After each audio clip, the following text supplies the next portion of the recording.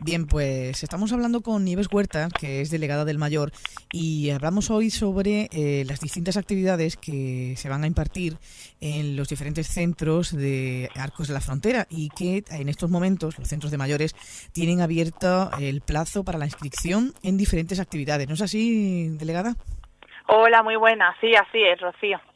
Muy bien. Dentro de, las actividades que tenemos eh, abierto su, su, plazo, pues hay diferentes actividades que, por un lado, se van a impartir en los centros eh, de mayores de Arcos, ¿no? Tenemos mm, diferentes actividades y del 8 al 19 de abril, quien quiera puede apuntarse, ¿no?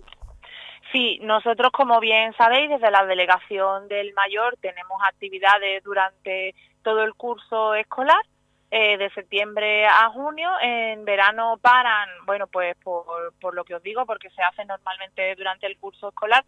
Sí que es verdad que en verano hay otro tipo de actividades, van a piscina y tal, pero lo que son las de eh, pilates, gimnasia, baile y eso se suelen, se suelen posponer porque la gente es verdad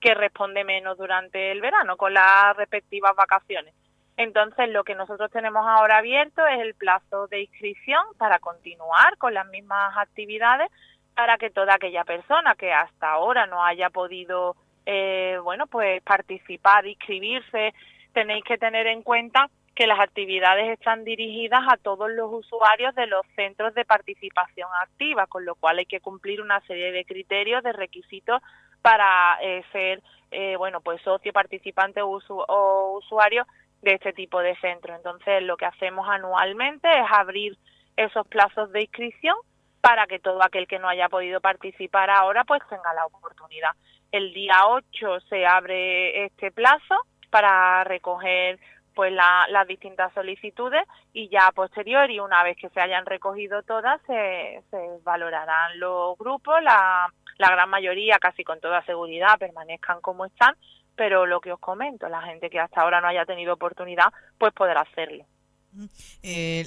los mayores pueden dirigirse a cualquier centro de salud, eh, perdón, de salud no, cualquier centro de mayores para, para entregar su solicitud. Se suele hacer en el centro de día de San Miguel. Allí es donde está la, la, oficina y allí es donde se recogen las solicitudes. Sí es verdad que eh, teniendo en cuenta la dispersión geográfica, de otros centros, por ejemplo, Gédula lo puede, se puede gestionar desde Gédula directamente, desde la delegación de, de Gédula. Y en las barriadas rurales, eh, bueno, pues nosotros eh, intentaremos hacer grupos para que todo el que quiera de las barriadas no tenga que venir de forma individual al centro a, rellenar las inscripciones. Yo hace poco estuve en varias barriadas dando una vuelta por allí y hablando con los mayores y me comprometí con ellos a que les íbamos a dar un poco más de facilidad en ese sentido y le íbamos a hacer la recogida grupal para que no tuvieran que estar desplazándose individualmente a Arco.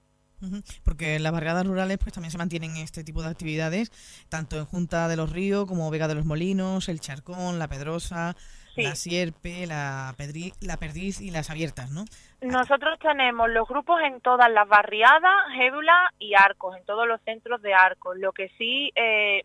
quiero, bueno, informar, al igual que se lo informé a ellos, los grupos evidentemente tienen que tener un mínimo de personas. Eh, si hay una barriada que no cumple el mínimo, pues es difícil porque hay que tener en cuenta que deben de cubrirse una serie de traslados, monitores eh, que tienen que desplazarse de una a otra barriada. Entonces, siempre y cuando haya grupos, sin ningún tipo de problema. Si hay alguien que esté interesado en algún tipo de actividad, por ejemplo, eh, una persona de la Pedrosa quiere formar parte del grupo de memoria y allí no hay grupo suficiente para dar la actividad, pues sin ningún tipo de problema, esa persona puede venir, por ejemplo, a Arco, al centro que mejor le convenga. Eh, delegada, en cuanto a los mayores, también tenemos a la vuelta de la esquina ya también las charlas que dais cada, cada mes, ¿no? Sí, nosotros, como bien sabéis, venimos dando una charla todos los meses, que la verdad es que están siendo muy participativas, les están gustando mucho igual yo siempre invito, porque eh, sé que viene gente, pero invito a todos los mayores de todos los centros de arcos a que vengan a acompañarnos, porque el hecho de hacerlo en el centro de día de San Miguel, insisto, siempre es porque tiene un buen acceso, una buena ubicación y porque el aulario es el más indicado, pero que pueden venir absolutamente todos los mayores. Este mes vamos a hablar de eh, reanimación cardiopulmonar y de y de primeros auxilios básicos para que bueno pues todos los mayores que tengan eh, necesidad esperemos que no pero si se ven en una situación de extrema gravedad pues que sepan cómo tienen que actuar será el día 18 a las 11 de la mañana como digo en el centro de día de San Miguel y la va a impartir un enfermero que es instructor de soporte vital básico, Salvador Rodríguez, que como digo, bueno, pues es instructor, está acostumbrado a este tipo de, cursos. De hecho, en otras ocasiones ha participado incluso en los cursos de mm, que damos aquí en Arcos a, la, a las fuerzas de seguridad del Estado y, bueno, y espero que, que, todos los mayores pues estén muy contentos con, con la nueva charla que vamos a dar este mes. Y bueno, y para los que quieran apuntarse también a los talleres, tienen tejiendo en comunidad y también están realizando eh, el taller de costura, ¿no? Sí, tejiendo en comunidad lo hemos recuperado después de Navidad porque había tenido un gran éxito y las mujeres, sobre todo, que son las que han participado, estaban muy contentas y, y, lo hemos recuperado. En este caso lo estamos impartiendo en el centro de Molino La Paz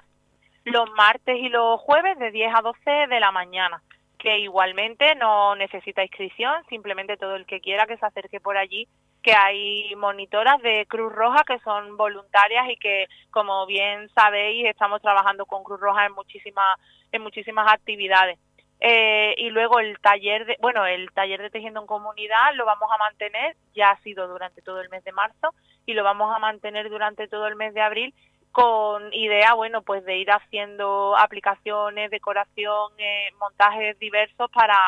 para decorar las cruces de mayo. Y luego eh, el taller de costura, em, bueno, también hay mucha expectación porque eh, ayer me encontré con una señora en el centro y me preguntaba, ay, yo puedo venir a hacerme mi falda, mi chaqueta bueno, pues ojalá y pudiéramos hacer todo eso, pero igual que hacemos el de tejiendo en comunidad, este taller eh, está coordinado también con Cruz Roja, con voluntarias de Cruz Roja, eh, entonces tenemos que acotar un poco y nos hemos dedicado a eh, la programación de la feria de María Auxiliadora, con lo cual en el taller lo que se está haciendo son batitas y falditas de flamencas para, para la feria, con, con la también la previsión o con la, luego al final hacer un, acto de desfile, de, de, promover lo que las usuarias han,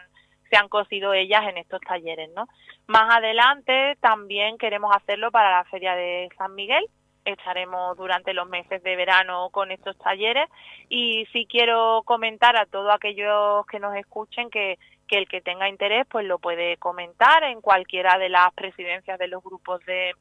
de los centros de mayores o incluso allí en la oficina del centro de día de San Miguel. Es verdad que hay pocas plazas, pero bueno, se irán llenando y si hay alguien que no puede entrar, pues lo dejaremos en reserva para la siguiente eh, convocatoria. Pues Nives Huerta, delegada del Mayor, muchísimas gracias por atendernos y por hablarnos sobre, sobre esas actividades que ahora mismo se encuentran abiertas para, para los mayores. Muchas gracias. Muchísimas gracias, Rocío, a vosotros siempre.